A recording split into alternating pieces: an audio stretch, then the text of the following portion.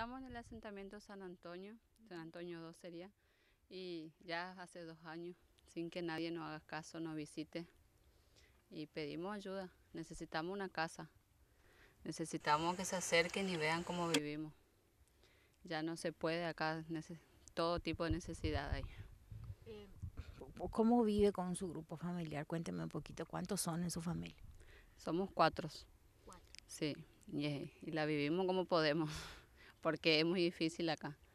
Como verás, son casitas hechas así nomás. Y necesitamos asistencia de alguien que se acerque, el gobernador, a ver, que no se olvide de nosotros.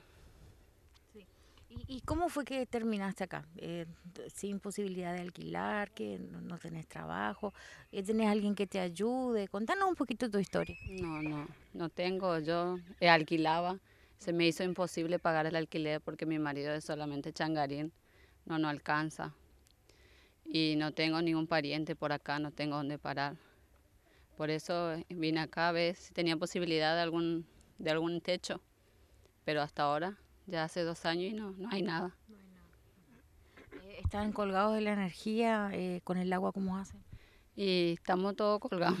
Robamos, si son estos de un solo cable, que son re peligrosos. Y el agua también. Sacamos de aquellos lado, pero cuando quiere nomás sale también porque son precarias nomás. Son precarias. Sí. Eh, ¿Y qué más te gustaría decir ahora, aprovechando por ahí que viene el, medio, para que la gente sepa, las autoridades también, qué es la, prioridad que ustedes necesitan acá? Y una casa, una casa necesitamos, porque para eso estamos. Sí, la verdad que toda clase de ayuda que nos dan nos hace falta, pero es la casa en la que queremos. Mariana del Carmen Mendoza me llamo. ¿Dónde estamos ahora, Mariana? Contame. En el barrio San Antonio 2. Estamos acá metidos hace dos años, venimos para que nos vengan a dar una solución para que nos den una casa. Porque nosotros no tenemos dónde ir, por eso vinimos acá a meternos para ver si alguien nos, nos da una solución. Y hasta ahora nadie nos aparece. Lo que único que vino fue esa Lancadena y vino y nos prometió que ella nos iba a dar módulo y vino, sacó fotos, todo vino y hasta ahí. Y hace un año, un año ya vino. Y mira, ahora ya estamos dos años, hace tres años ya que estamos acá y ella ni apareció más después. Vino, se sacó todo fotos y se fue. Y ya ni apareció y nosotros quedamos acá como en la nada. Porque todo el mundo dice, nadie sabe que acá hay un asentamiento. Y como verán, allá en los 11 hay cantidad de módulos que se roban. Las chapas, eh, las puertas, la ventana, todo. ¿Y por qué es lo que no, nos dan a nosotros? Si nosotros estamos acá necesitando. ¿Y cómo hacen? Eh, ponerle ahora mal que mal, bueno, está todo seco, día de lluvia, así como hacen con, con tu familia. Y no, no sabemos ni dónde correr porque entra agua por todos lados. Se llena, se inunda todo acá. Los cables que tenemos bajo tierra que son para la luz, eso corremos riesgo de los chicos. Porque los chicos lo que tenemos más nosotros miedo por ellos. Porque como verá hay cantidad de chicos acá. Cantidad. Y eso es lo que nosotros lo queremos. Encima se enferman todos de balde. Se enferman de la gripe, de la garganta, de todo. Porque acá el tiempo, cuando llueve encima no podemos ni salir al, al hospital ni nada. Por eso nosotros queremos que, ojalá que con esto podamos tener una solución ya. ¿Qué, más te gustaría mencionar? ¿De cuánto estás? Yo estoy de seis meses ahora y tengo una nena de cinco años que va al jardín y acá como verá ya cuando llueve yo no le puedo llevar al jardín a ella y eso es lo que más nosotros queremos que nos saquen de acá para que los chicos puedan tener una educación más buena. Mi hija tuvo cesárea a su bebé y ahora recibí que tiene que ir a Buenos Aires a operar su corazón y si puede alguien le puede ayudar, porque ella está todo el día en el hospital de niños. Ella viene para dormir nomás y para las 5 ya se vaya, porque para las seis y media no se tiene que sacar la leche. Y necesito ver si por ahí una ayuda para ella. Y como dice la señora, acá es posible hasta cuando llueve. Más que tengo este mi nietito y ella con su bebé también enfermo. Y decir, porque ella tiene que operar dos cosas, lo de su corazón y acá tiene problemita y, y tiene que mandar. bueno. estás acá en el asentamiento? Y yo hace dos años, cuatro meses que estoy acá. Sí. Con mi hija, esa ya está mi hija, la bebé, la mamá de bebé. ¿Y, qué, es la prioridad? ¿Qué, es lo que y, necesita? Y nosotros necesitamos una ayuda acá porque a veces no, no tenemos mercadería, cuando llueve no puede salir a rebuscar. Más que hay chicos, yo por ejemplo ahora eh, no puedo rebuscar porque mi hija que está en el hospital de niños me dejó su hijo de 7 años y no puedo pues, para aquí para allá tengo atrás mío. Y ahora me fui a llevarle a la escuela y ahora tengo que ir a buscar porque su mamá no puede. Y si hay una ayuda y como dice la señora acá es posible estar, necesitamos un lugar para estar con los bebés. Sí, y todo eso. Yo hace más o menos también eh, un año y medio que estoy acá, también esperando una casita porque eh, no, no puedo estar, yo vivía en la casa de mi suero y bueno, ahora necesito una casita para estar, mi propia casita quiero, ¿vio? Y estoy acá con esta gente también compartiendo, estando con ellos en los días de lluvia, no podemos salir.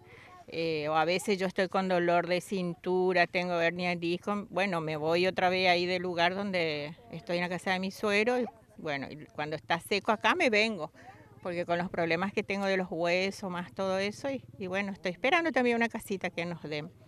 Estamos en la lucha acá con toda la familia, porque somos unidos acá, nos ayudamos entre todos, pero necesitamos que alguien se ocupe de... Hay muchos niños más por los niños, vio que, que tengan compasión de nosotros, ¿viste? Y, y, con la ayuda de Dios también, nosotros acá también ponemos todo en manos de Dios, porque Dios es el que hace todo, el que abre las puertas, ¿vio? Y ahí estamos eh, esperando eso. Y no podía pagarme el alquiler, se me hizo difícil y por eso tuve que venir para acá. ¿Vos sos del interior, de capital? No, de acá de Formosa soy, sí. ¿No ¿Tenés quien te ayude para sostenerte? No, no, no. ¿Y tu, tu familia? Y sí, tengo mi familia, pero no, o sea, no da gusto vivir en casa ajena también.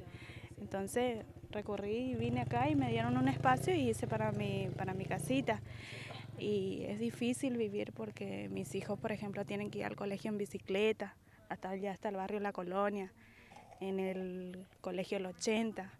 A ver si el gobierno hace algo por nosotros, porque hay mucho barro y es difícil. ¿Cómo se arreglan acá? Porque energía no hay, se colgaron. Sí. Después, eh, ¿el agua de dónde sacan? El agua estiramos con una manguera y nos llega hasta allá. Compramos todo junto un pedacito de manguera. Entre todos ayudaron. Sí, entre todos, sí. Y la luz nos enganchamos nomás, sí, pero cuando hay mucha agua es muy peligroso porque hay mucha humedad. ¿Ustedes están en condición entonces de recibir hasta módulos? ¿No tienen problema? Sí, no tenemos problema, no, sí. ¿Alguien los censó en algún momento? Sí, ANSE vino y nos censó dos veces o tres por ahí, pero nada, ninguna solución todavía. Y yo necesito mucha ayuda porque yo estoy el tema de mi nena acá porque, y me da bronca porque no veo que están ayudando. Veo muchas personas que están sufriendo y me, me da bronca. Por el tema de mi hijo, le está saliendo grano por el tema del agua, que hay mucha agua hasta acá, acá y tenemos que ayudar entre todos. Y no sé, me dijeron que me van a dar módulo, a todos lo dijeron. Y estoy esperando un apoyo, una ayuda y me da gusto. ¿Y dónde está la persona que nos iba a ayudar? Eso no entiendo. Yo estoy un mes ya acá con él y estoy sufriendo y tengo que ir en casa de mi suegra para que me ayude el tema de la comida y todo. Y me... ¿Vos no tenés trabajo? No, yo no trabajo. Yo ahora no estoy cobrando la asignación. ¿Qué, qué pasó? Me cortaron, parece, porque yo tengo que presentar el tema al papel de él de los dos años. Y no sé lo que voy a hacer ahora. Ahora no tengo nada de mercadería, nada no tengo. ¿Y vos sos sola? ¿Tenés quien te ayude? Y tengo a mi pareja que está ahí. Eh, no, tampoco. La prioridad, ¿cuál sería, mi reina? ¿Qué es lo que vos más necesitas? Mercadería, eh, remedio por el tema de su brazo. Y ahora me estoy, tengo que ir a la sala para que me ayuden también. ¿También? Salita por acá, ¿cuánto tenés que caminar? Y en el, la sala de San Antonio. Estamos acá en el asentamiento hace, ya van a ser tres años.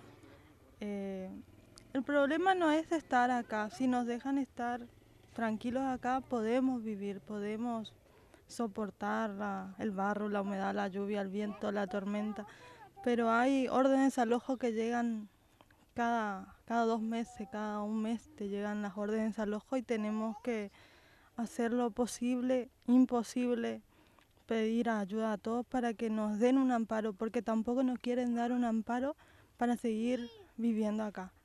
Y nos quieren sacar a la calle nomás. No, no saben ustedes quién es el terreno.